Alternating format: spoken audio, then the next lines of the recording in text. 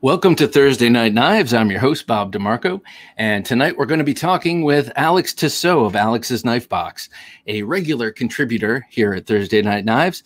And uh, we haven't seen him in a while, and uh, we're looking forward to having him back on the show uh, for the full episode tonight.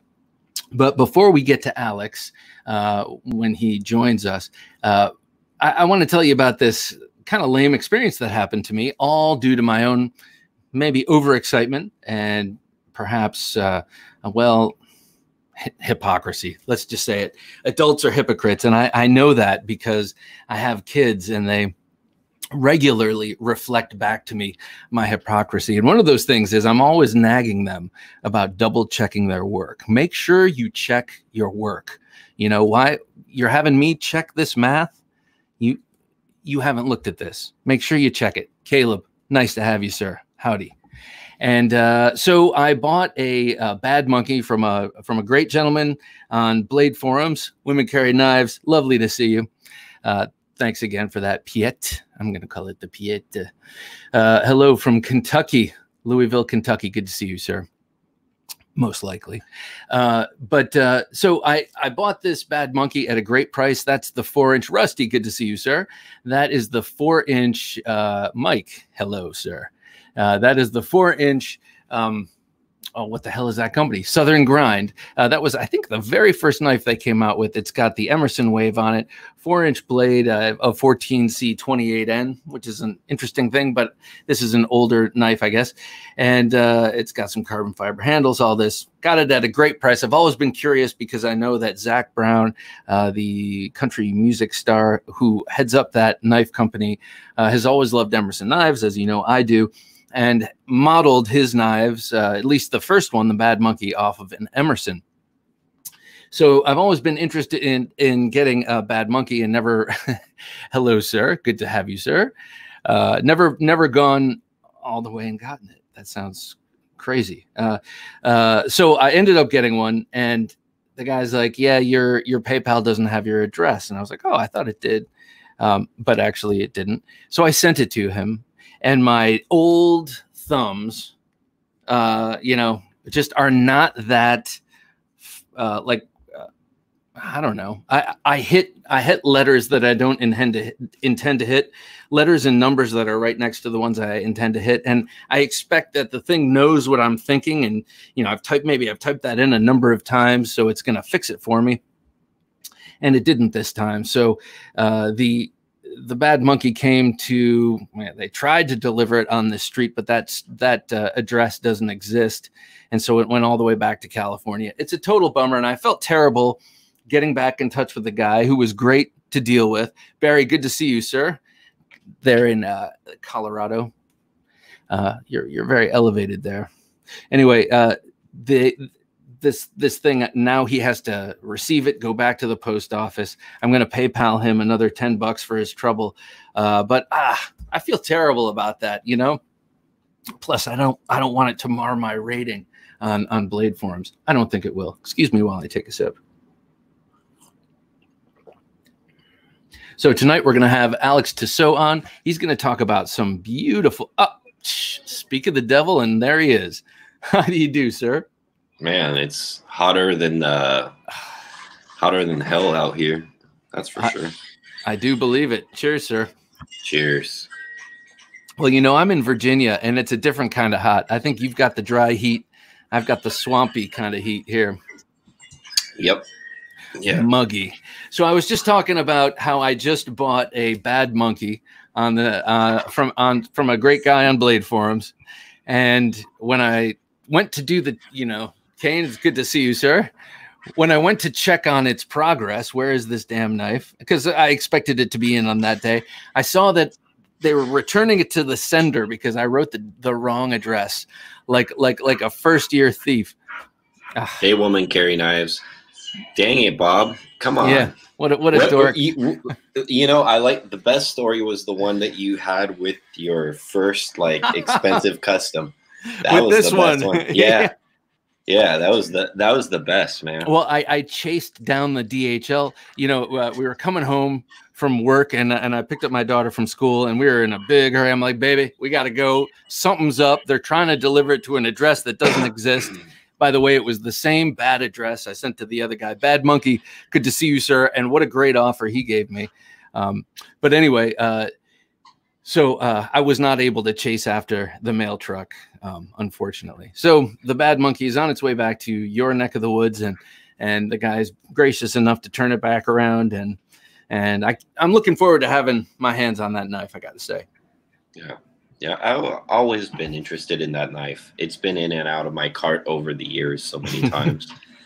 Zac Brown, right? Yeah, exactly. Yeah. Anthony, good to see you. What did that What did that last uh, lower third say, Jim? Hey, Therapeutic Edge. Good Therapeutic. to see you. And Tad Watson. Anthony Claus. Uh, Strike Force. Hello from Baltimore. Hey, Baltimore. Go there every once in a while.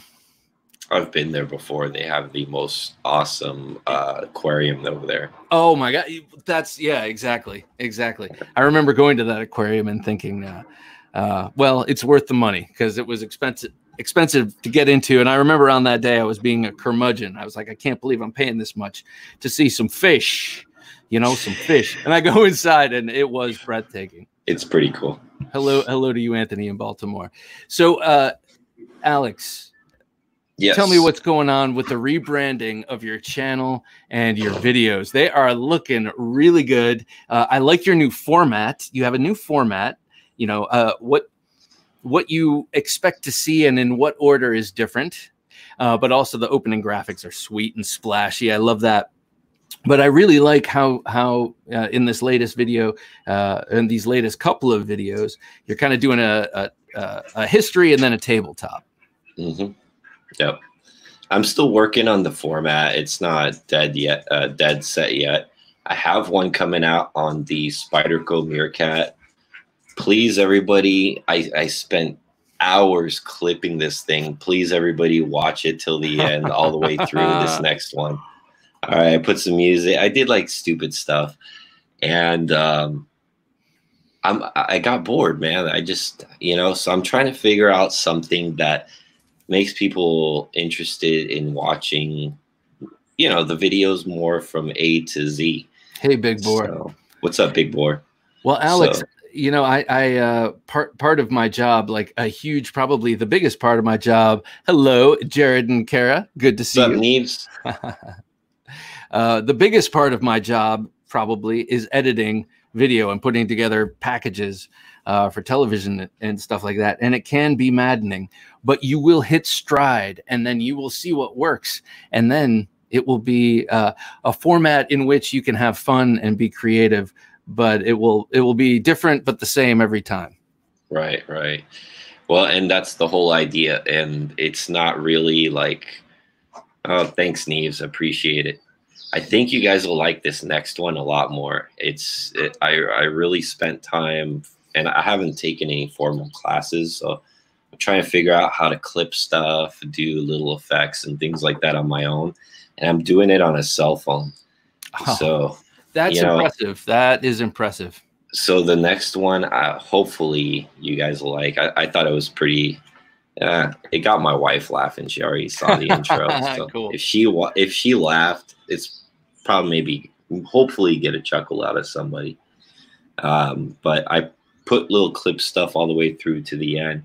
So we'll figure it out because it is hella time consuming, and you guys know like the advanced knife bros, the master at this stuff. Oh yeah, And of course, I talk to them all the time, and and especially now since I'm trying to reformat the channel, I'm asking him for stuff, you know, like of what I'm doing, and some of the stuff that he does, like a little theatrical and comedy. I'm kind of doing to my channel now. I'm just testing it out and see how much work and if I'm actually even funny and if it's even worth doing. So we'll check it out and see how that comes out. Well, here's the thing, Alex. In your tabletop, just your straight tabletop uh, reviews, your personality really comes through, and it's engaging and it's fun, and you and you get, uh, uh, you know, you seem to get your dimensions. You're just adding to that by, you know, with this edited sort of uh, uh, intro part. I, I think it's uh, only adding to it. Mm. Well, I appreciate it. Oh my my yeah, absolutely. What uh, that amazingly cool. Uh, what the hell is that in the beginning? It looks like the birth of a planet, or or or or oh. super hot steel going into some crazy medium. What is that? It's it's basically like a, a flame that burns and etches the Alex's knife box logo on the back, and then the vapors kind of go away. No, no. I mean, uh, I know what it looks like, but where did you get that? How does, or you don't need to tell me where you got that, but that is a really cool image to me. And when I see that, I think the birth of a knife because, you know, forged in fire, birthed in, you know, it's like mm-hmm. we all know that steel requires heat, hilltop knives and gear. What's up, knife junkies? Good to have you, sir. What's up? What's up? DJ. So uh, anyway, I'm I'm I'm really digging the new videos and the new direction, and and you can tell like just you know ever more of your personality and your passion for knives is is coming out through them. Yeah.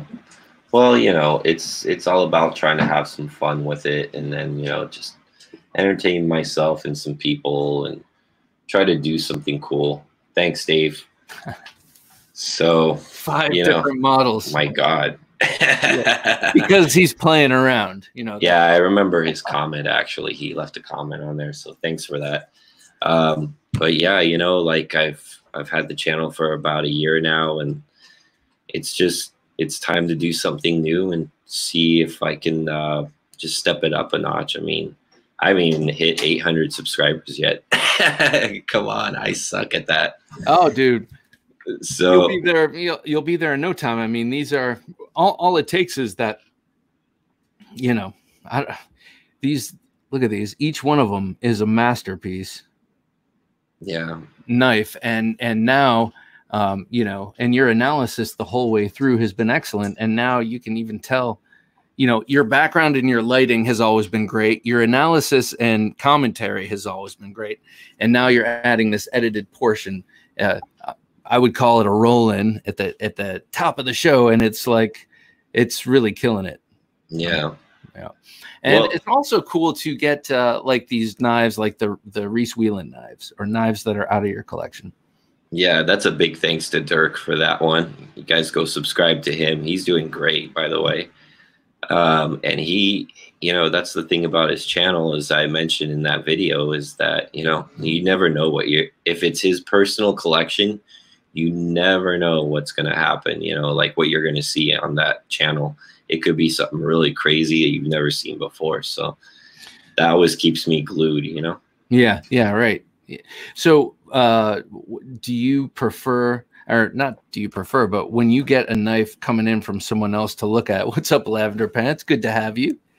Uh, when you get a knife coming in from somewhere else, uh, mm-hmm. do you mm-hmm. put it to the same um, standards that that you put the knives that you put in your own personal collection, or do you um, do you change your criteria?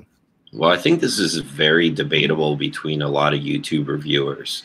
And, you know, I mean, I'm no expert. I'm just a knife collector like everybody else, just trying to have some fun. But I think a lot of times when you get a knife, there'll be half of the people that'll say, well, you know, I got to carry this thing and use it I at least got to cut some cardboard and I got to cut some this and some of that. And then after that, I got to put it in my pocket and, you know, run errands and go to school and do whatever and do that for a week. And then I know what the knife is like. And then there's the other half of the people, which I'm more on the side on personally, where you've handled so many knives that after you kind of observe it and look at it, you're like, okay, I get it. That's what mm-hmm. this thing is designed for, and that's what this thing is good at. So, of course, you know, it's always better to own it and carry it. And I've only recently started taking in um, borrowed knives and mostly only Dirk because I don't usually send out my knives to anybody else for the most part, but he's been getting mine. Um, but um, it's kind of nerve wracking, you know, you're under under the pressure or the radar, like I got to get these things back in the mail. Yeah. And, know, did they get there? And it's it's it's nerve wracking. And then like when I have one of my own knives, you know, I can you know cut whatever with it or do whatever. Which have you you guys have never seen me do any cut tests, but I actually cut some stuff in my next video. So you know, a therapeutic edge that two types of reviews: using carry or just overview. And and yeah, I agree. I like both. I like, uh, you know, a, a guy like Alex, a guy like a therapeutic edge.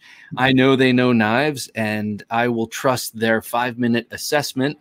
But it's also a thrill to hear. Yeah, I've had this. Uh, I've had this Appalachian for six years and I've never used anything else, and it's the greatest thing. So go buy one. You know that that's also a kind of video uh, that I really like. Um, yeah. So so both I, I, I am in kind of more in your camp. Uh, I'm a tour watching dirt. Yeah, I take a tour around the knife. You know, like I could try to like take you guys on a tour around the knife with me and show you like what I notice right off the bat and the stuff that's obvious. But there's people out there like you know, like I really like Eugene Kwan because of the yeah. words he uses, right? And then there's, um, yeah, I mean, there's so many talented reviewers out there. It just depends on what you're looking for, you know. Mm-hmm. I mean, I've always said it. My favorite YouTube guy is Advanced Knife Bro because I don't like to take it so seriously. yeah. And he's so good at that. Like he just, uh, you know, yeah, really, a good writer. Wanted... He's a good shooter, and his his stuff is funny. And and you know he he knows and likes knives. A and and, and we're all in his, or many of us are in his boat. You know, he's right. got uh, you know, kind of a similar. We're in a similar situation. Yeah, he's great. I love Mark. Um, so, by the way, me and him are uh, working on a collab video. So keep an eye out for that too. Very cool. Eugene rocks. Indeed. And, and so uh, you were talking about how you take people on a tour of the knife. And that's kind of funny that you say that because your background is a world map, you know, a cool 3D reliefed world map. And uh, it is like you're going on a on a tour. Um, yes. can you go back one? Uh, yes, Eugene is awesome and uh, just go back one. The experience matters more than knives and experience. Yeah, I mean, uh, yeah, I would agree with that, uh, and then I would also agree with uh, it. It is cool to see someone say have a, a PM2 for a long time, use and abuse it, and say yes, this thing is really worth all of the the the talk that you know. Thanks, Dave. Oh yeah. yeah you know what i i think there's great reviewers that do great stuff as far as you know you got your steel testers right which are a lot of my buddies i i, I actually kind of interact with the uh, steel nerds a lot mm-hmm. which is funny because i'm not a steel nerd whatsoever i i halfway care less uh, so that's what's yeah. funny about it but um, you know, and then you got the guys that do the high end, like Jim Skelton and Dr. Franke, and everybody's got their niche. But what I really want people to take from my video, and I haven't really figured out how to how to put that through my videos, but what I want people to understand is, and maybe it's better if I get a knife. So, for example, like a knife like this one. Oh, right. Hmm. This is a knife by a Polish, a custom knife maker in Poland. And it's a $600 knife. It's very plain. It's nothing crazy, but it's it's beautiful. I mean, it's so well finished. You can see the hand rub and the fine edge and that sort of thing. And what I want people to like appreciate that if even though this knife has S35VN steel, you know, there's different reasons why people like to use steels. For example, some of them polish nicely, some of them are stain, stainless, some of them are for use, and so on and so forth. But as much as for the hard use steels, there's also for the artist that likes to use the steel. So, um, you know, I think that's the best thing that people could take away from my channel if I ever put that across is that no matter how weird or eccentric a knife is, you always notice I never really like dislike anything per se. I can appreciate whatever it is. I may not buy it for myself, but I can see like it's for somebody. You know, there's a reason why I went into production in the first place. Yeah, yeah, that's kind of uh, so. A couple of those comments. Uh, Spirited whiskey, very psyched about the new direction your oh, uh, videos are taking. Excuse thanks, me, Ryan who makes that knife kill? Well, you can tell by looking at that knife that whoever made it comes oh. from the former Soviet bloc. It just has those lines, man, doesn't it? it beautiful, beautiful Eastern European slash like Russian lines. Yes. So the the knife maker is KD Knives.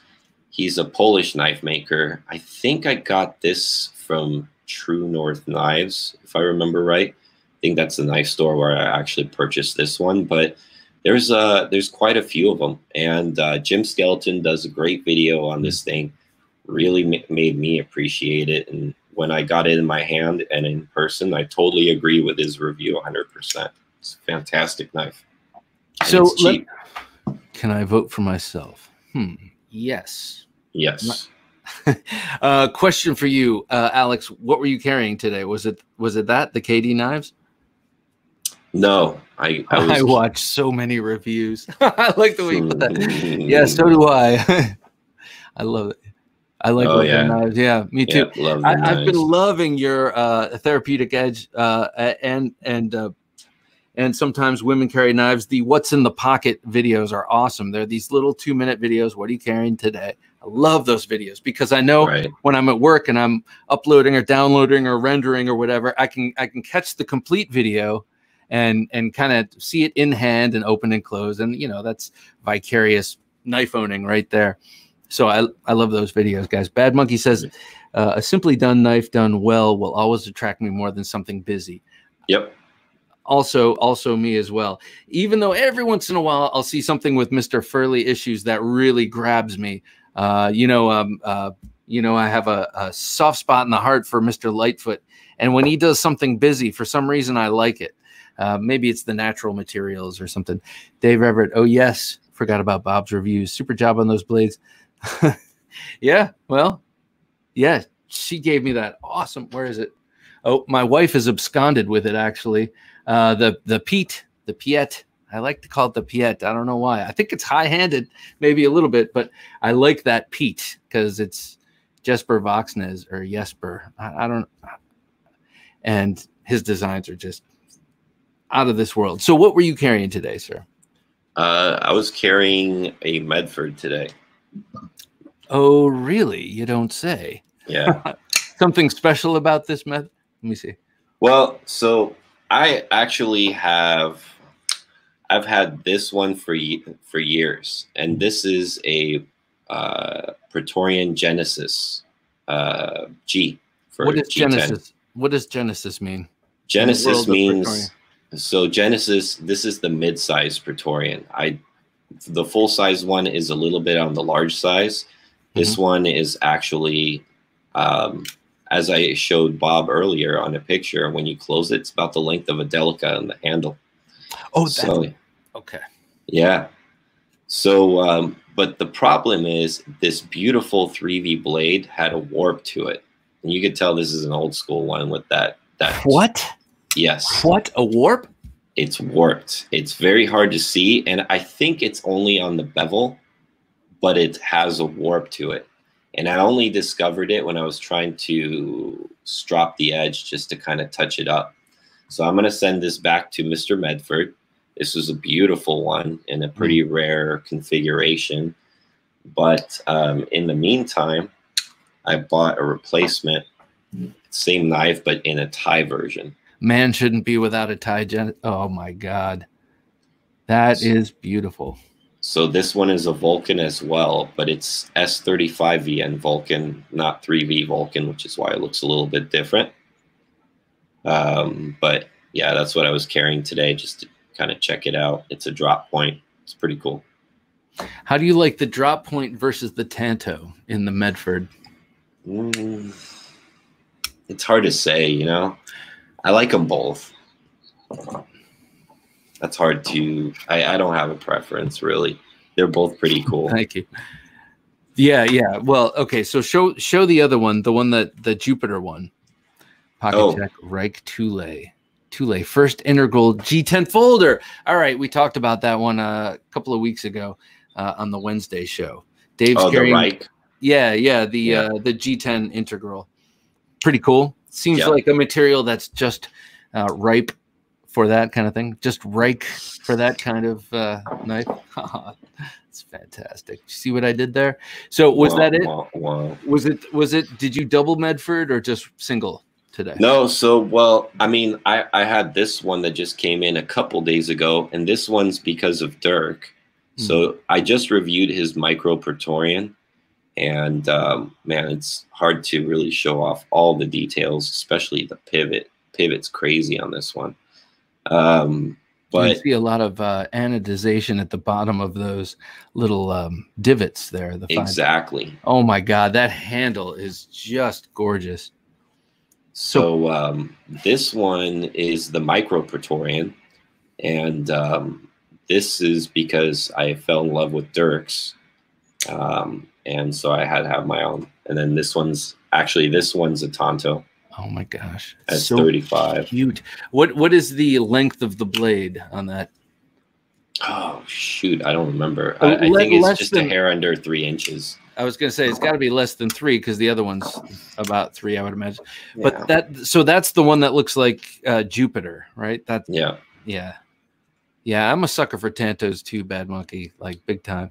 Yeah, look at that. It looks like Jupiter. Look at that anodization. That is just man, that is out of this world. That's funny that you came up with that because I actually thought the exact same thing when I saw the picture when I bought the knife because of um, that little portion right there. Yeah.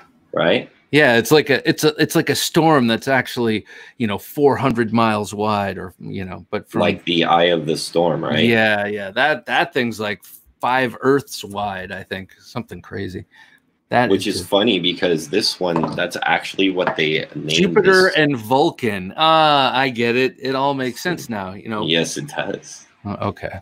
and and then we're talking one, about the Greek gods as filtered through the Romans. Uh, Bad Monkey looks almost like Starry Night. Yes, it does.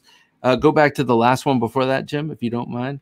Look at that. That's 2.8. 2.8 inch. I, okay. Yeah, that sounds about right. I think I remember it being 2.7 something so the one you've got up uh, looks like uh, you know uh, 2001 Space Odyssey. We're we're we're evolving here. So this one they actually call the Eye of the Blue. That's What's the actual name of the anodization. So Greg's Eye actually, yeah, he's actually doing his trademark patterns, I guess, or something like that. Um, yeah, I've never seen him name an anodization before, but it says it on the box. It's kind of crazy. That's cool. Hey, uh, Jim, could you put up a therapeutic edges last comment, please?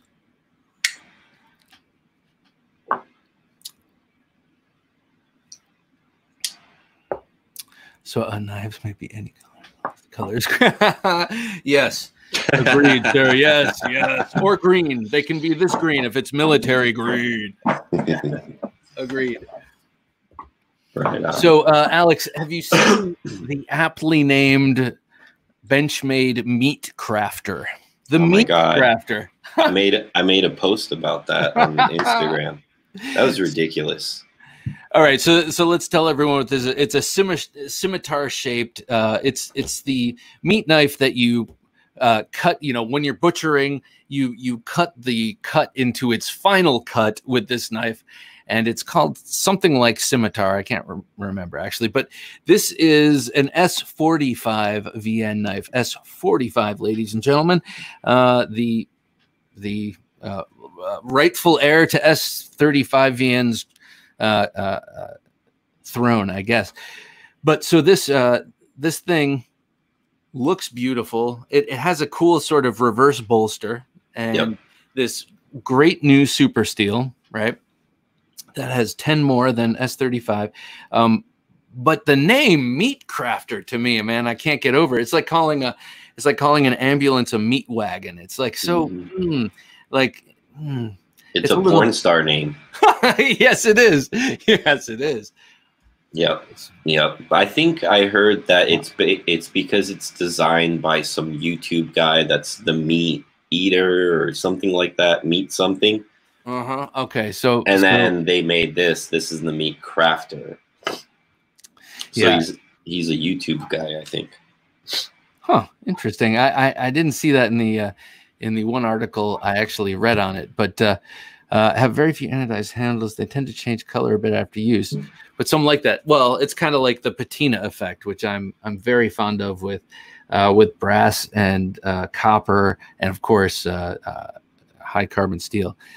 Is Alex going to be in the next town hall?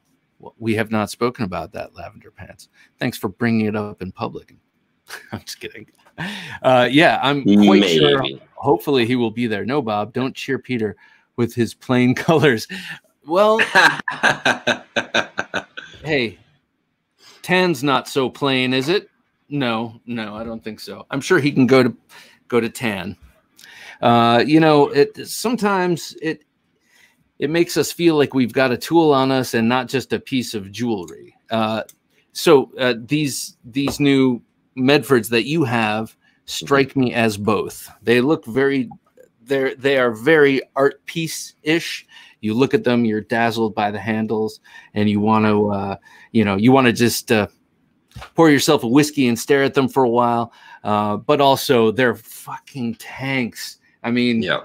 you know, even this little tiny little uh, MIDI that I got from you is just the tankiest little thin knife ever. A little big yeah. knife is what it is.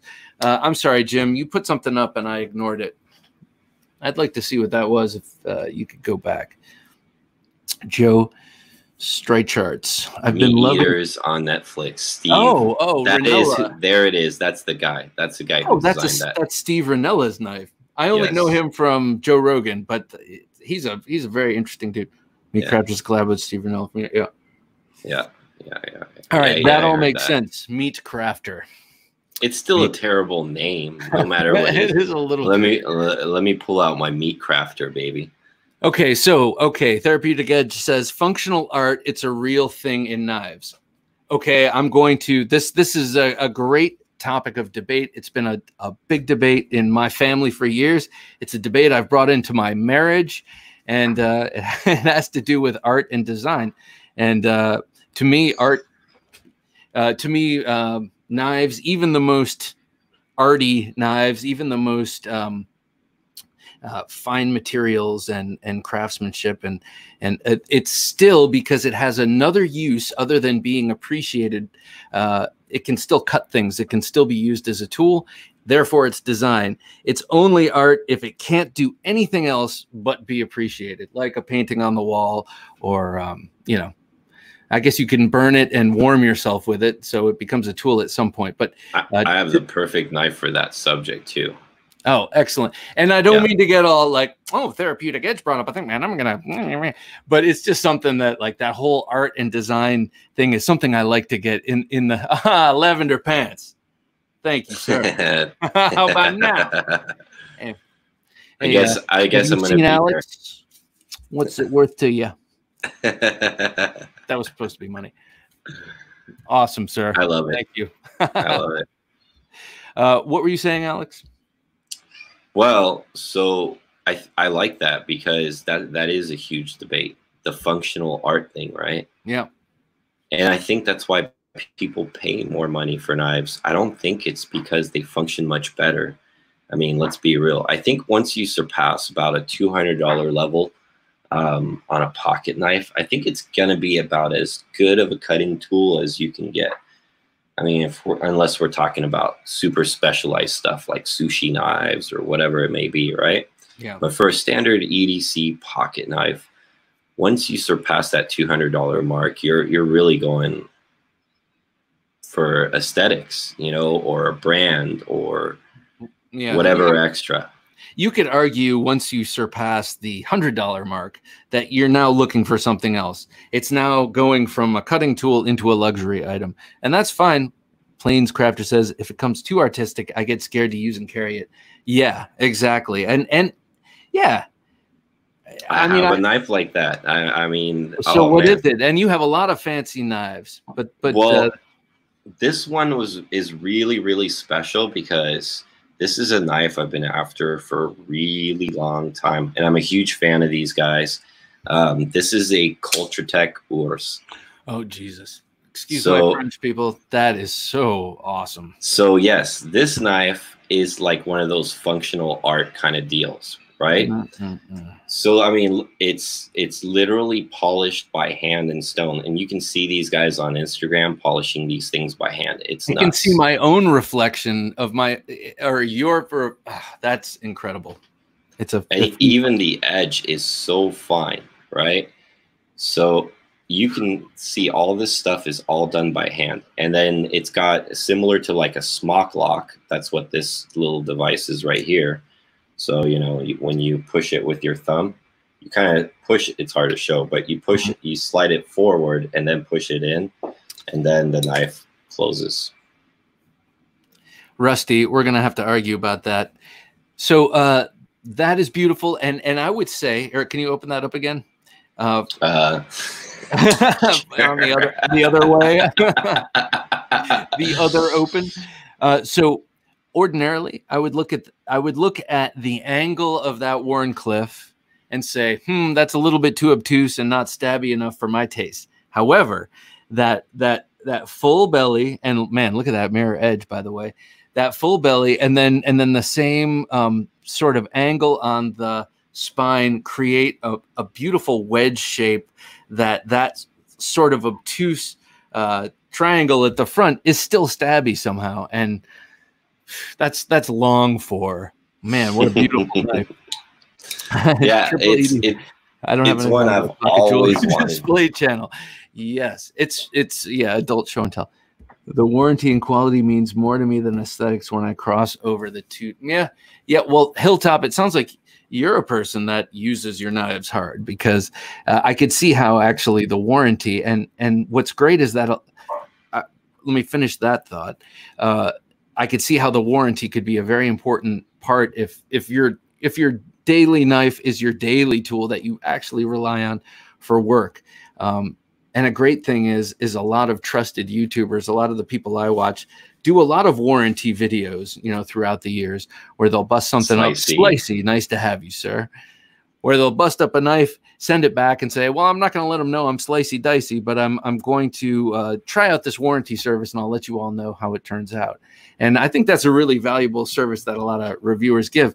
But also, I totally see his point. If if your knife is something you live by, for sure, for sure, that's important. My Kali instructor used to say that a knife should have drop factor if you can drop, if you can't drop it, don't carry it. That's interesting. And, you know, I could almost see a Kali instructor saying, if you can't drop it down a sewer grate, don't carry it, which also would make sense, like a throwaway. Neve says, knives are thoroughly in our blood. We have been partnered for thousands of years, and it's a bond that can't be separated. You're absolutely right. That's poetic and beautiful. It's kind of like uh, dogs. You know, um, the first domesticated animal, I guess. But uh, we kind of have a similar kind of bond. Uh, and and I'm not a dog person yet. We just put in an application. Uh, Triple Ed, Triple e, Ed says, I cut myself earlier, so knives were literally in my blood today. But when you do that, don't you kind of feel justified? Well, it's a good thing I have this knife because now I can't get rid of it. It's tasted my blood. That's a thing, really. I've found that once they bite you, they bite you pretty often. It's oh, that one knife. Which one? Well, dep- depending on like, usually when I get a knife, if I cut myself with it within a day or two, it's one of those that repeatedly cuts me for some reason. I got I you. Yeah, right, right. Like the metamorph did that to me. Jim, two two back about the Protech Brend one. The Brend, uh, the Protech nice Brend knife. is a god. Oh, it's a gorgeous knife. It's got this great uh, angle to handle, uh, like uh, the blade angle to the handle is like this. Thank you, sir. I appreciate that. Thomas says, talk about self defense. I discovered the Protech Brend One large automatic five inch blade. And it, it, first of all, it's a beautiful blade, beautiful knife, gorgeous handle. And Walter Brend, his fixed blades were just so gorgeous and very expensive now. Yeah. And, and very uh, coveted but that that uh, Protech model has a five inch blade, which is rare outside of cold steel, and uh, um, just the look of it. I've been wanting to get that, and you can't find them uh, now. You can find the three inch version. Dave says, uh, "Knife cuts you." You must keep it. Yeah, exactly, exactly. I usually do. I still have one of those. Rusty, I just uh, just sent my first knife in for repairs. User error, cross thread and brick. Okay, cold steel. I've heard. Uh, see what happens. I've heard cold steel is excellent. Um, you know, I agree. Once, once bitten, bitten, often, often bitten. bitten. Yep, that's what I'm talking about. Uh, so uh, Slicey, I, I, I bought his uh, Appalachian, which was my pocket uh, in my pocket today. And right now it's going it's going through this phase uh, that my thir- my CQC 13 went through and my Sax went through, where it's it's moaning like an old man. Listen, I have some. Uh, two of my Emersons did that. It just My- takes a little my- work through it, but geez, man. My combat fighter does that, and it's been doing that for years. So sorry Oh, to- for yeah. years. Well, um, I don't carry it that often though. So Yeah, I, I, it's a, it's a, you got to ride, you know, uh, on the way to work, flick it a, you know, 50 times. On the way home, flick it 50 times. Eventually it'll, uh, yard ships tomorrow, OCD. nice. Wait, what, what's OCD? What what's OCD getting? Oh, obsessive compulsive. Wait, wait, what's shipping tomorrow? Let us know. What's shipping tomorrow? Hey, Bob, I have a chisel ground Emerson that I just sharpened. Oh, no, no, no. I know. I saw that. Uh, you mentioned. And so, uh, Neve, uh, Jared, this is going to be your, the first one I send you. Yes, it's another Wharncliffe that I dropped. This one is not so severe. Uh, No, that's But- an easy fix. yeah, yeah, yeah. But after, but after Jared uh, told me uh, about the uh, the chisel he ground, uh, yeah, I want him to do that to this. Nice. Knives moan for you, Bob. That's right. All right. That's it. That's it for that. So, uh, yeah. I got one more cool one that I'm going to share with you too.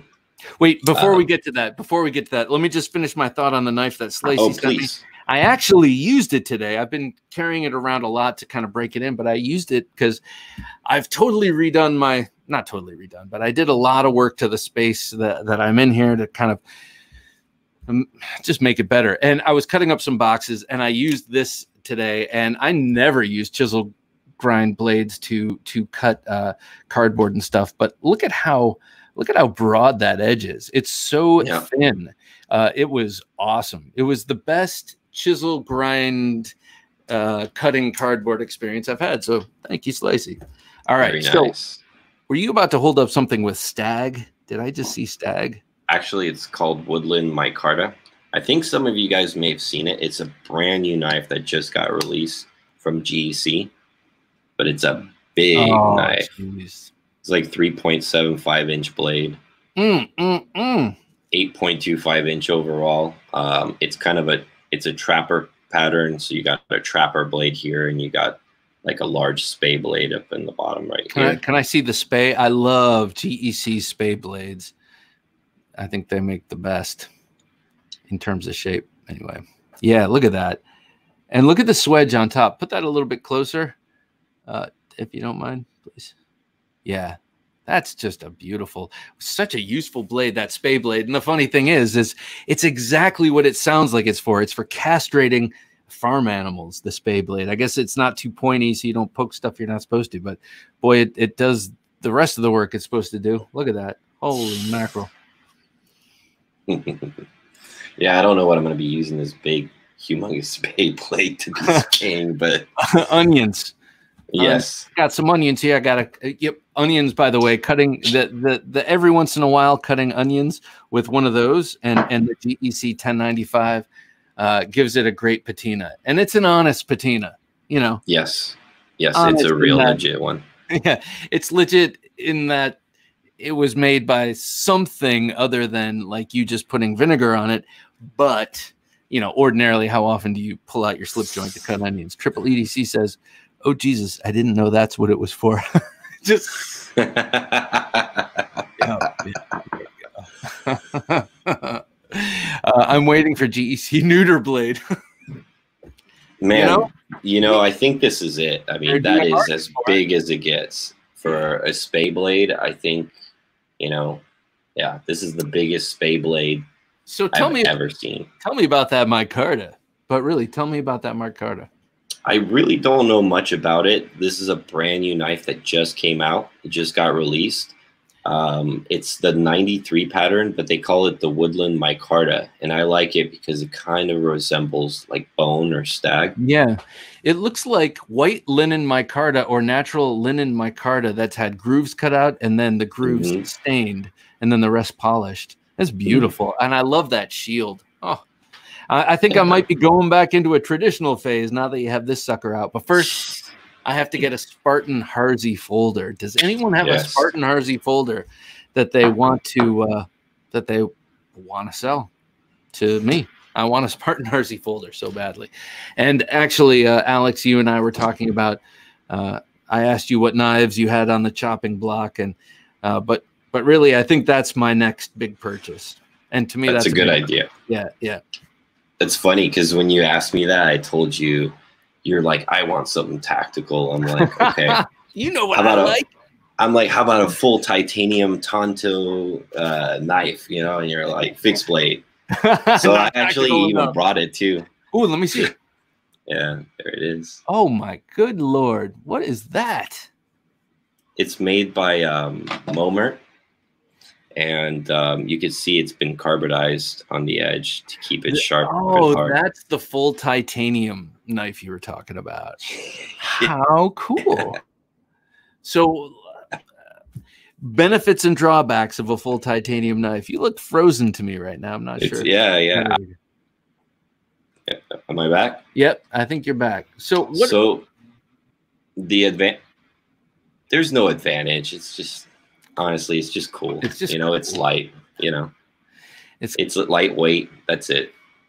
So that's it's a shiv. It's a beautiful titanium carbonized shiv, and and this is a custom knife. I didn't. Um, not ex- exactly. Hmm.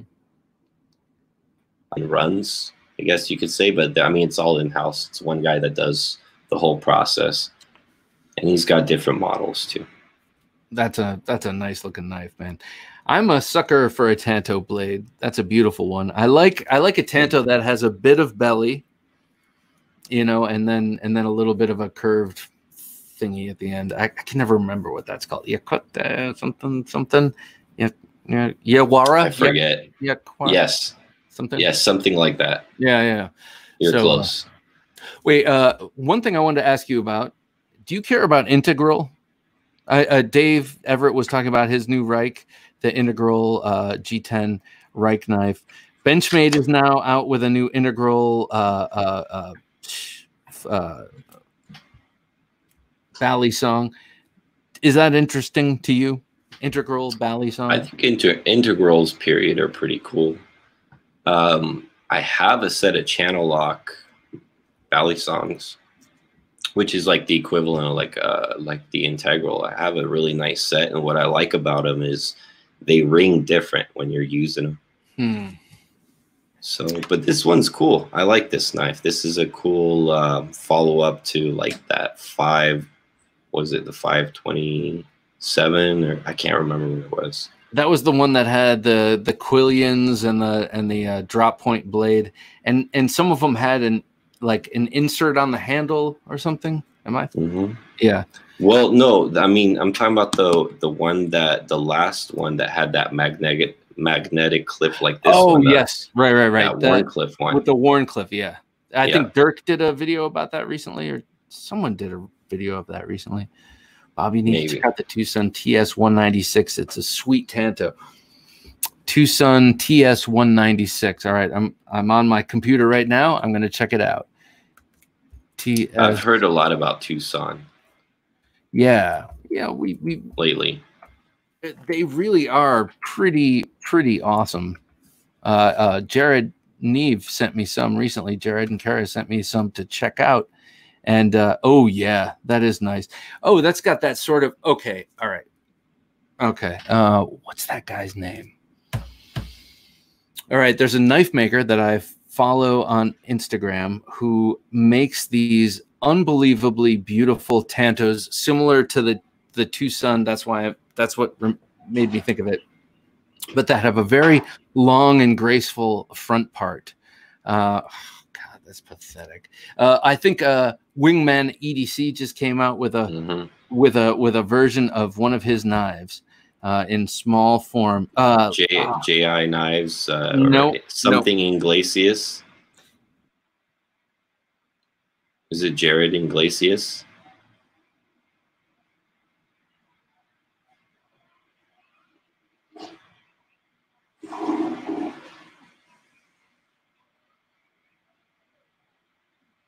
Can you guys see me?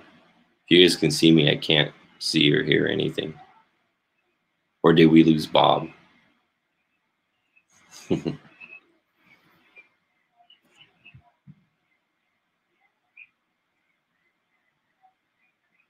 All right. Well, if it's only me, guys, let me check and make sure. Oh, all you, Alex. All right, buddy. All right, guys. So I actually brought out some other knives that I, because I know Bob likes some stuff. So here is a fixed blade I got many, many years ago. It's from Fox Knives. And I used to be in the Marine Corps, so I got this Marine Corps edition. And this knife actually is made by Fox Knives, and it is called the Predator, which is pretty wild, but pretty cool knife. Uh, it was used in by the Special Forces in the Chilean Army. Um, also, few brands in the U.S. military. So pretty neat thing. Um, Go for it, Alex. Thanks, guys. and then um, another one that I brought out. You guys might like some classics. It's got whole bunch of finger oil all over it because this stuff does um, rust. But this is an old school Bark River with um, some A2 steel. I don't even remember the model name on this guy, but with some nice bone handle and if you guys really want to know what my actually favorite knife, if I was going to run out of the house and pick one knife out of all of them, including all the expensive ones, I'd actually grab this one. And this is the Bark River Bravo Survivor. It's another pr first production run. Very old school I think this thing's about four or five years old.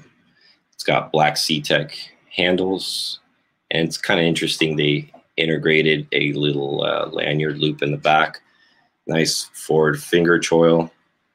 That is the ticket.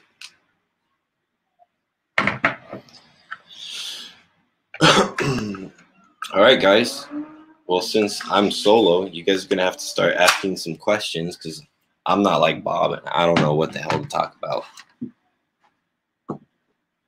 Bark River has excellent fixed blades. You're right.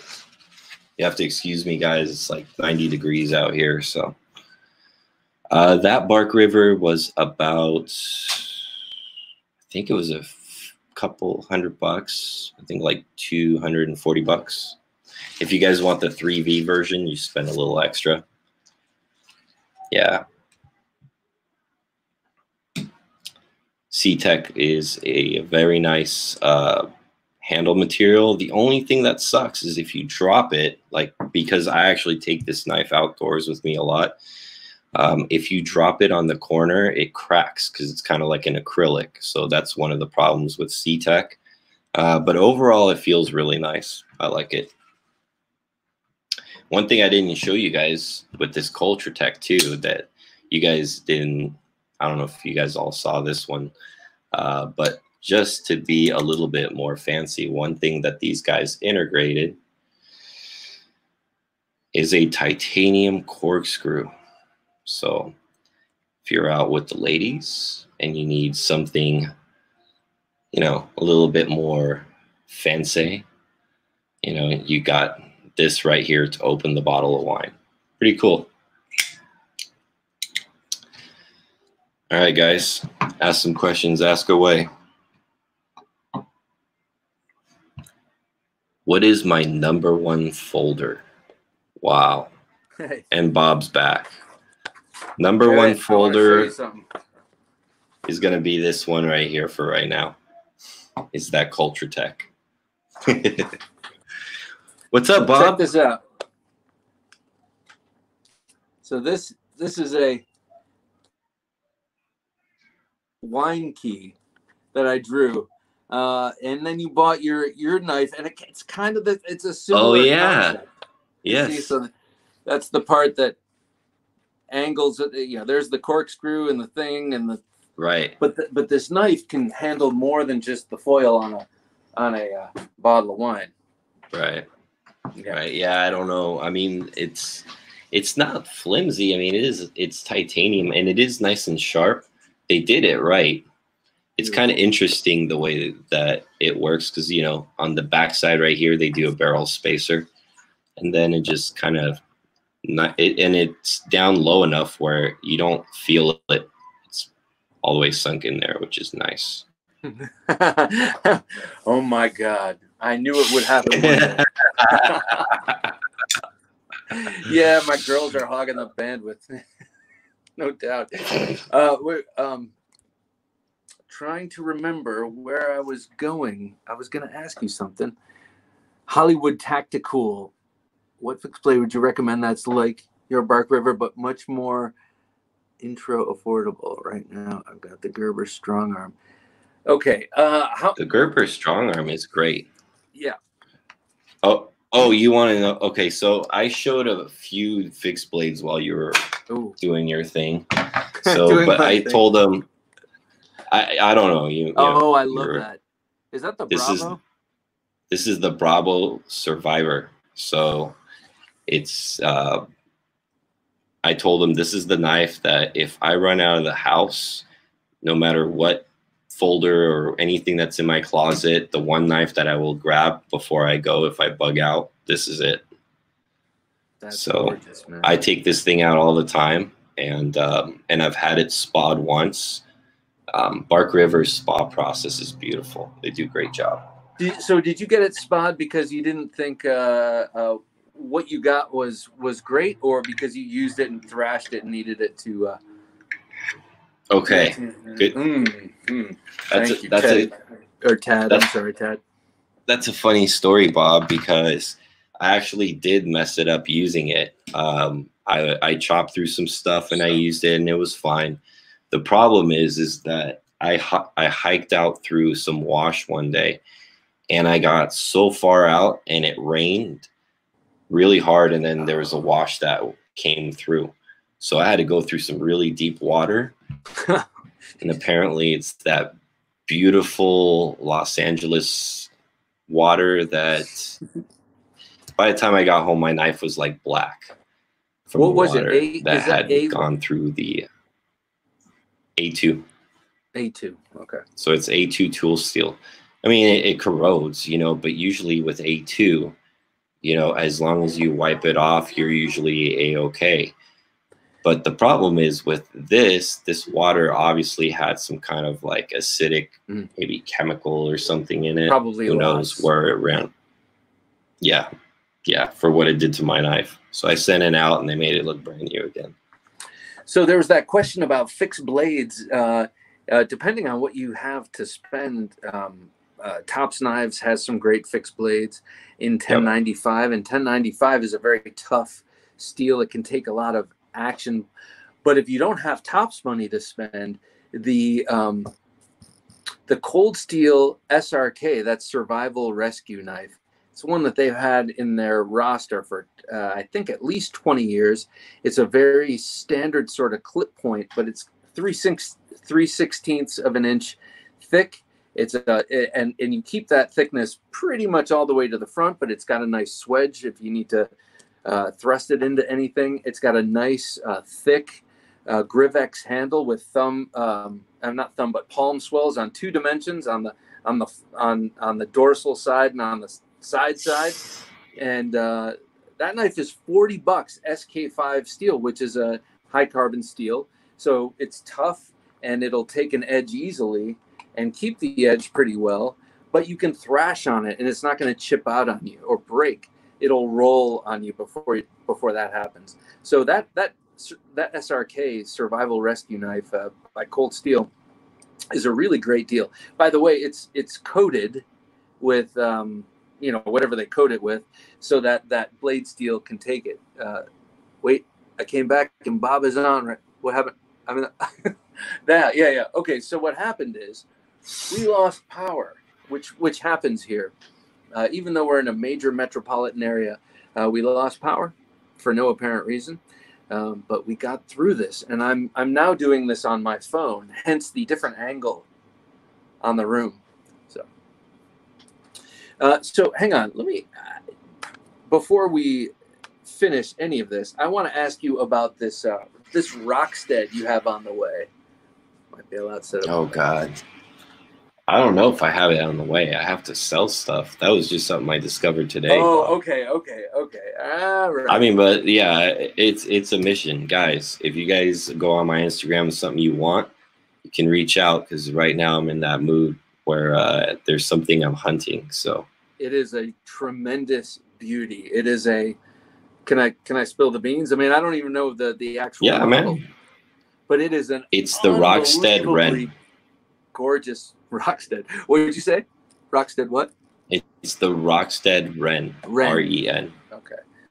Beautiful Tanto with a crazy. It looks like it's got uh, laminated steel, um, but it comes together at a really cool angle across the the blade. It's uh, it looks. Yeah, like multi-layered handle, crazy Tanto. It it that's a that when I saw that knife, I'm like, oh crap. so I'm like, what else can I sell? Yeah. It's Dang got its it, hooks in you know? now. All right. So yeah. I, I, I would like to start a uh, the knife fight and then and then see if we sure. get any reactions and and see what people think because uh, would you recommend the SRK in 3V? Well, I don't know, but I will say that um, every other steel, cold steel uses, they are phenomenal with their heat treat. So I can't imagine that 3V would be any different.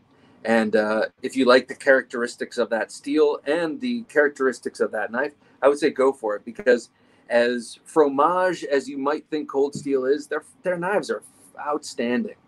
They Damn really it, we are. should have convinced Lavender Fancy was crazy.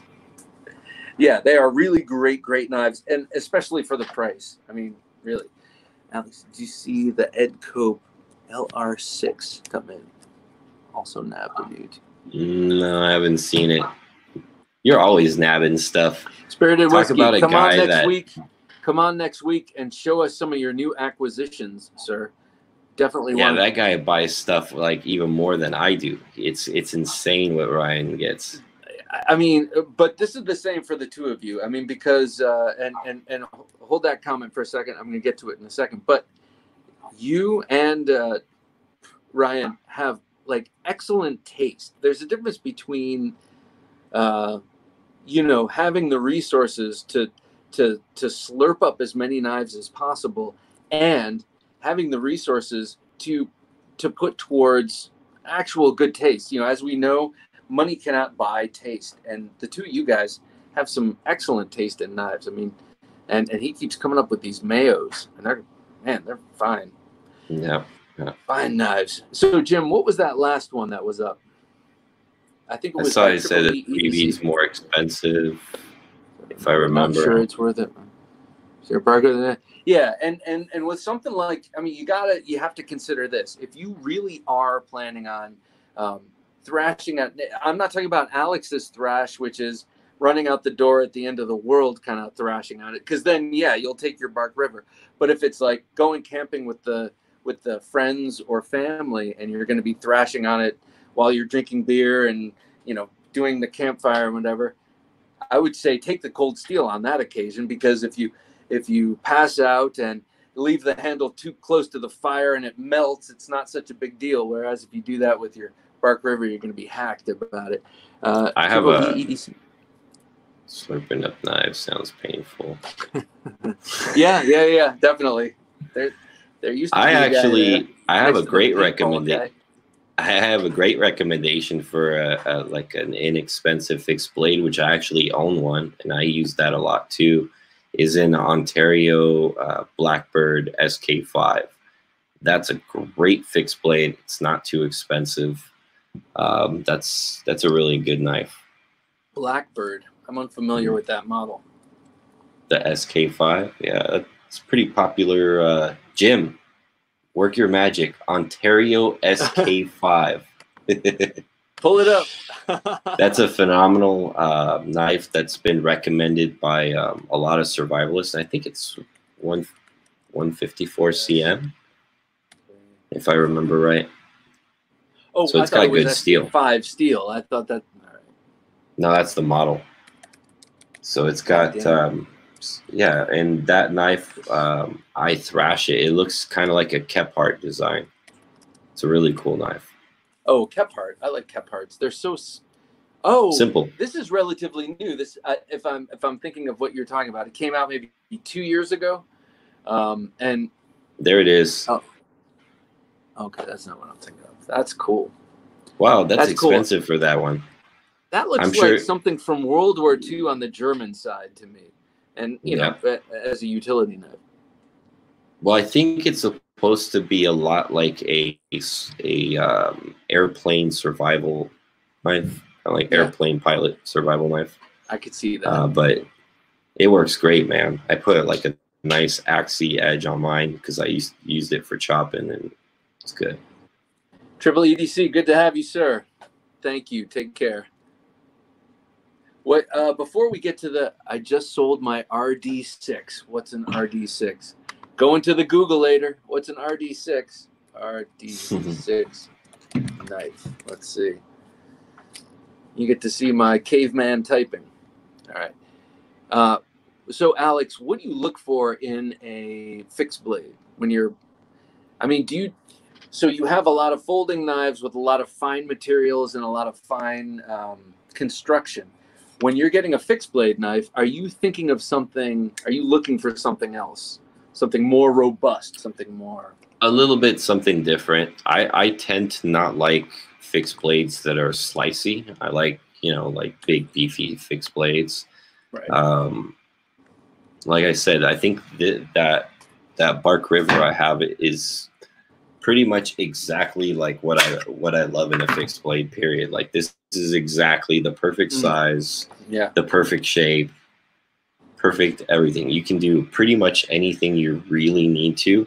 It's not going to be good at everything, but it's going to be able to do anything. You know. Yeah, but with the height of that blade and or the, Mhm. the the width of the blade and the height of the grind and the fact that that's a Bark River and it's got a convex grind, that thing must be slicey as hell for what it is. Oh, it does good. It does pretty good, you know. But even though it's got this nice convex edge, I mean, it it will definitely shave hair like the way I- they got it. I haven't taken it back out since I had it spawed, but I love a convex edge. I actually convexed uh, a obtusely ground chisel edged uh, uh, Emerson and kind of used sandpaper and a strop and and just sort of turned it into a chisel ground uh, convex and it was man wicked sharp and then I sold it to an engineer that I work with. Are you ready for a knife fight, sir? let's go.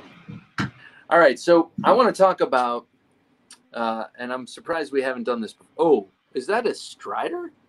No, What is that? A Pohl Force. Oh. I- it's a uh, it's a fox knife. Ah, is that designed by Dietmar Pohl?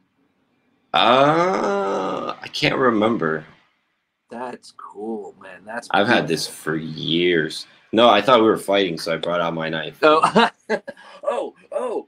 All right, well, I'll leave it over there. But um, so carrying knives. oh shit! And I'm trying to be all serious. Uh, okay. All right, all right. So, uh, carrying knives for self-defense is it a an unrealistic thing? And, No. and we're talking about, you know, we have people. Uh, well, you may have trained. Let's say for the untrained, is it a is it an unrealistic thing to carry a knife um, for self-defense when you might carry mace? And depending on how the wind's blowing and all that, um, so the question is: Is carrying a knife for self-defense tenable, or is it only an EDC tool? Hmm, that's a good subject. Uh, but I'm I'm gonna be uh, you and I are gonna be on the same boat on that one. You know, I'm I gonna think so, and I think I think maybe you should take the self-defense side, and I'm, I'm going to take the EDC tool. So. yeah, give me a handicap, huh? No, I'm not giving you a handicap. It's just like we all know what my propensities are. Uh, You know, I carry this every day. No, I'm just kidding. Yeah, I love this knife, by the way. SOG Super Bowie. That's badass. that. I mean, that's just beautiful. Is that a black DLC? It's a black. Uh, yeah. You That's beautiful. I, I say yes, and I really don't know. I don't know what that coating is. It's a black coating, and it's it's got like a mirror polish on it, man. That's or not a mirror polish, but a satin polish. Mm, Yeah. This is what I like SOG for. I saw this knife for the first time. Any knife in the end for yeah, agreed, agreed. But we have now. You're just giving him ammunition. I saw this knife first in Terminator 2, the regular six-inch version of it. Gorgeous knife. She's gonna blow him away. That's when they discovered that she ran away to go kill. Oh, what's? but anyway, all right. So, shall we, sir? Give me one second to just plug in here because I think my laptop's I'd rather about run to. than be in a knife fight. Well, that's the 100% the smart strategy uh, because they say um, no, you know, Nobody it's the, wins the guy in a knife fight. second is the one who wins in a knife fight. Uh, tie coating. Thank you. That's what it is. Tie coating. It is a beautiful coating. Blades up close are messy. Expect to get cut, said my teachers. I prefer to carry them as tools and last ditch self defense. Right, exactly. Uh, I rely heavily on the one finger technique these days. One finger technique. Is that like um, kind of like the fencing punch where you hit them in the The five finger death punch. no, the one finger, a shillelagh. Oh yes. Oh wait, Oh, I don't have my. I, I have an Osage orange shillelagh from a, a limb that a friend of mine gave me, and it's been aging for 15 years. Stasa. And it's, that unfortunately, hey Stasa, good to see you, sir. Unfortunately, if someone broke into my house, I feel like I would grab a sword or that Osage orange shillelagh before I would think to grab a gun, which is uh something I have to retrain in the brain because uh, I'd rather be the crazy naked man with a gun than the crazy naked man with a sword getting shot by the guy with the gun. Dave Everett, one finger on the trigger. Oh, yeah, dirt is my safety. All right, so are you ready? Ready. All right, let's hear it. So, so I'm defending for self defense knives. Is yeah, that yeah, doing? that that a knife, Okay. That a pocket knife that you're carrying. We'll, we'll be more specific. Uh, um, EDC that, that versus. you're justifiable in carrying one of these things and thinking about it also as a protective device, not only an EDC device. And I'm saying no. This is a tool. Don't be a, a fazul. You're not a Oh, one of those. Okay, got it. Got it. All right. Ladies and gentlemen, welcome to this fine establishment where uh, we can have this forum which we discuss these tops, uh, topics that are so important. Here, here. Um, so tonight's topic is is a knife a item that you should carry for self-defense. Well i ask you why not carry a knife for self-defense? It's handy. It's right there on your person. Your wife can carry one in the purse. You can have one in the pocket and at a desperate time with desperate measures if somebody's going to be big enough and overpower you you need a tool not just a tool to cut threads off your shirt or cut your thumb on occasion when you're flipping your knife, but you need a tool to defend yourself. That's when having a pocket knife is upmost, the most important thing that may save your life one day when you're in that dark alley walking by yourself. Well, I work with a guy who every sandwich slightly outgrown my premise because to me at least part of EDC is about hmm. Thank you, sir. You're just cutting to the heart of the whole argument, but we're gonna get there. I'm trying to just play along, but I, I see it as it's a tool and self defense for of sure. Of course, of course. But. There's this guy at work who every time there's a bagel to be cut, or every time there's a sandwich to be cut, or an apple to be cut, he feels the need to pull out this gigantic, scary knife. Lindy Lou, good to have you. Uh, and and you say what's up? We're in the middle of a knife fight, and Alex just defended carrying knives for self-defense as well as EDC, and I'm saying no, no. We are not cave people. We are not living in the 16th century and having duels on the street. What do you need this for? on your person on a daily daily occurrence. It's just not necessary. Really, you know, the way I see it, I I think it's great. People should have knives. People should have knives like like this, this Finch Runtley. This is a great little non-threatening knife, and I think everyone should be able to have one. Now, this, I don't know. Something like this, I really think that you need to be specialized somehow or have some sort of special qualification to carry because it's kind of scary and I don't know what's going to happen in its presence. So I think that little knives like this are fine for EDC. You know, sometimes you have to open a box or a letter, you know, from the government, from the tech. You know, sometimes you. So it's this. It's this that you need. Anything else? Anything else means that you've got something else on your mind, and I don't like what you have on your mind.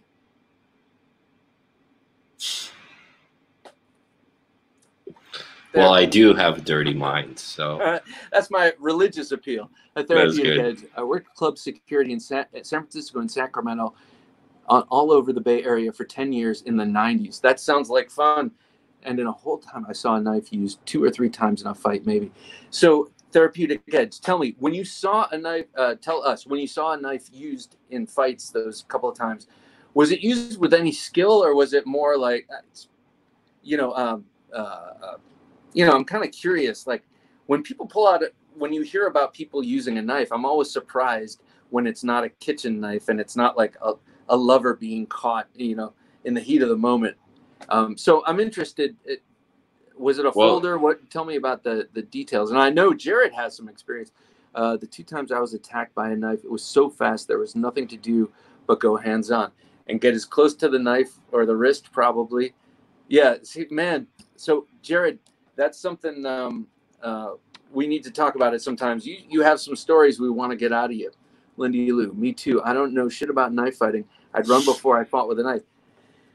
But okay, all right. So I'm gonna I'm gonna go to. It was stupid fun. Therapeutic Edge. Great to have you. Always a pleasure, and I love your videos. Slashing, mostly angry slashing. Yes, but like the Roman army, you have to learn to thrust, so we don't have to employ pikemen to go around the battlefield and kill all the stragglers. Um, but it, basically, uh, what I'm getting at is uh, what was I getting at? I, I kind of lost it. Uh, you, you, and I already fought, Bob. We're done. We're done. I'm just now. I'm just. I'm taking advantage and, and listening to the sound of my voice. All right. Uh, well, uh, man. I, so, what do you what do you have uh, on the in the offing? What's coming in in the next few weeks? What can we expect to see from you on your channel? Um, I got that that new Spyderco Meerkat video I'm working on that hopefully um, uh, turns out pretty good. Um, and then I also have a uh, knife versus knife video I'm working on where it's mm. going to be a Microtech SOCOM versus a ProTech TR2. So out the side autos. Oh, dude, that's a good one. Yeah. That's so those one. are well, my I two love videos. The TR2 whiskey time. Hello. Uh, I, I do love the TR2, and I have the SOCOM. Uh, it's it's non-auto, but I love that. It's a tie. Women carry knives. Thank you, thank you. But uh, you know, I, I was being a little facetious. I don't think that was in good faith. Therapeutic edge. I learned by observation the best offense is a sound defense and just get the hell out of the way. You know, I everything I talk about is theoretical because I've only ever dealt with knives in a in the um, controlled setting of a martial arts studio with friends who don't want to kill me. You know, so uh, everything I say is 100% hypothetical. I've never been a bouncer or, you know, thank I've God. Had, I've had a knife pulled on me once. It was uh, one time, one time. And it was when I was in the Marine Corps. Um, Marines train field artillery on Army bases. So there's usually 200 Marines at Fort Sill, where there's like 15,000 Army guys, right? So we're a very small bunch. And usually we're not very well received. And one night at a bar. We got into a bar fight, and the army guy pulled a knife on me. But luckily, I told him if you pull that thing out, you better intend to use it. If you don't intend to use that, put it away. And luckily, he just put it away. That's that reminds me of uh, that the World War One guys. You know, the Germans and the British on Christmas Eve having a yeah. Maybe it's not so bad. Maybe I don't want to kill you. Yeah, well, you know, we're both armed forces and everybody's yeah. drunk, you know. It did it did escalate it continued Dave. to a fist fight, but it was only a fist fight at that point. It was good. Right. Dave, it was good to have you, sir. Uh, I think uh, I think Alex, I think we might be on the way out here, sir. I think I'm pulling into the station, but I would like to say that uh, I got that bad monkey coming, and when it comes in, I'm I can't wait to show it off because uh, I'll save my story for the podcast next time. Excellent. And then, uh, Jared, uh, let's uh, let's talk about that idea we were talking about. Could be fun. Hmm. Little mystery. Hmm. Tune in next time to find out what I'm. Just kidding. Uh, all right. So, I think that about does it. Caleb says Blade Show in 57 days. I will not be there, unfortunately. I cannot be there in 57 days, but uh, I'll be there next year and that will be too. my first time. And Alex, I will get to shake your hand and meet you in person, which will be awesome. And oh, yeah. uh, a lot of I'm gonna be like, but brother's got a hug. uh, All right, everybody. Well, oh wait, wait, wait, wait! I can't sign off here. I got stabbed in the chest in a fight in a bar. Holy it was shit! Still in my chest after the fight. The cops were the ones that pointed it out. Holy shit! I still have it, and it was a 112 Ranger. God, wow! And and with okay, obviously adrenaline and and and shock and lots of things had to do with it. But I'm thinking in particular of the handle of a Buck 112 Ranger. That is a heavy affair, man. Stas is going to be there. That's a, that's a brass liner with two brass bolsters and wood in the middle. That's a heavy fucking handle to be sagging out of a knife stuck in your chest. That's that's an unbelievable story. I mean, obviously I believe it, but that's a crazy story, man. And how cool that you still have that knife and that you're a knife lover. Um, that's a that's a pretty cool story. So pass that one yeah. down the ages through the ages. Big time. So that about does it for this episode of Thursday Night Knives. I want to thank Alex for joining us. Alex, thanks for coming on, sir. It's been a pleasure. And, Thank you for uh, having me. We love every time seeing you and uh, getting your insights and stories and new knives, etc. And for Jim, working his magic behind the switcher, I'm Bob the Knife Junkie DeMarco saying, please don't take dull for an answer.